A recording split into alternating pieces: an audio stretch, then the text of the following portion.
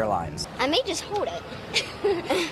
12 hours. The airline line is doing it. To make room for an additional row of seats in the cabin, the wall around the lav has shrunk.